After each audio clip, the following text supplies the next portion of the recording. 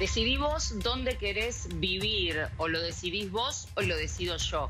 Fue una clara amenaza, fue en Barrio Norte y una vez más tenemos que hablar de los médicos, los médicos, los profesionales de la salud que le están poniendo el cuerpo a esta pandemia en primera persona, que arriesgan su vida todos los días para poder ayudarnos a todos eh, por el tema coronavirus. Y ellos tienen que soportar este tipo de situaciones en su propia casa. Con la historia está trabajando desde el lugar Sergio Farela. Sergio, buen día.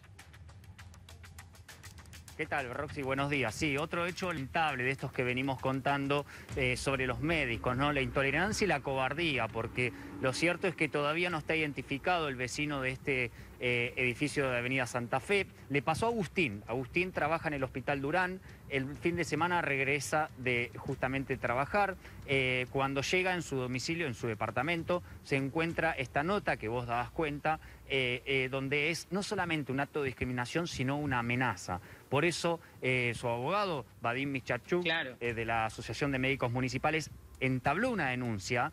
Eh, la justicia de la ciudad, vos sabés que viene interviniendo este tipo de denuncias y las tramita pese a que estamos en pandemia. Es decir, la justicia las recibe y empieza a hacer averiguaciones. Ahora lo que se está tratando de determinar, como no se sabe quién tiró la nota esta debajo de la puerta de Agustín, es ver las cámaras de seguridad para ver si se puede identificar al vecino que lo ha hecho, porque justamente es tan cobarde que no dio la cara, no, no dio su nombre ni apellido, no se lo dijo personalmente, sino que una nota sin eh, identificar quién se la ha dejado debajo de la puerta y ese es otro hecho lamentable de los tantos que venimos contando y que después valoramos a los médicos. Pero por otro lado hay gente que directamente los discrimina, como el caso de Agustín. Claro, están, están las dos caras, ¿no? Están los aplausos a las nueve de la noche, están los reconocimientos, están los carteles de apoyo, pero están estas situaciones eh, que son noticia y que hablan de una cobardía y de una discriminación, como vos decías, Sergio. Y lo tenemos en línea al protagonista, Agustín. ¿Cómo te va, Agustín? Buen día, Roxy, soy. Hola, buen día, Roxy, ¿cómo estás? Eh, bien, acá estamos hoy trabajando. Queríamos preguntarte, bueno, ¿cuándo fue esto?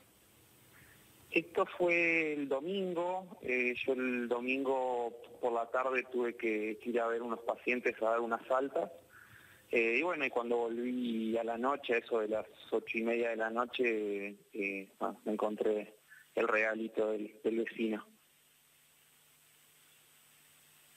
¿En el ascensor? No, no, no, no, no, abajo de la puerta de mi departamento. ¿Dónde Ah, directamente, abajo de la puerta de tu departamento. ¿Y, qué preguntaste, qué pudiste averiguar en el, en el edificio? No, yo, en realidad yo al principio la verdad que me lo tomé con, con mucha calma. Eh, eh, de hecho, ni siquiera medio que no caí. Al principio ni iba a hacer la denuncia, después lo terminé haciendo porque me asesoré con, con el abogado de médicos municipales y, con, con mi misma familia me recomendaron que lo hiciera. Eh, no, yo eh, avisé, di aviso a la administración del edificio que, me dieron todo su apoyo desde el primer momento, me dijeron que obvio que haga la denuncia que, y que cualquier cosa que, necesitara estaban a mi disposición. Eh, avisé a, los porteros abajo y nada más. No, inclusive varios vecinos se solidarizaron conmigo también. En ese sentido yo estoy bastante tranquilo, creo que es una una persona que me parece que le estaría sobrando el tiempo para, para hacer estas pavadas. Sí. Agustín, eh, claro, tenemos a Sergio Farera en el lugar que te quiere hacer una consulta. Sí, eh, no, quería preguntarle a Agustín justamente si alguno de los vecinos se lo dijo en persona o le hizo saber su descontento por el solo hecho de trabajar de médico, simplemente eso, ¿no? Si, si le han hecho eh, justamente saber el disgusto por esta situación. No, la verdad que no. Eh, yo, yo vivo hace muy poco ahí, hace, hace dos meses. Eh, me, pareció raro porque la gente casi ni, me conoce.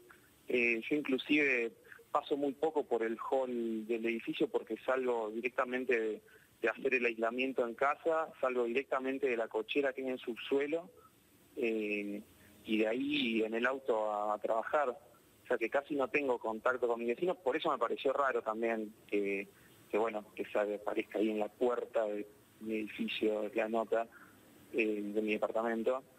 Eh, pero no, no, no, nunca nadie me dijo nada. Eh, la verdad que no.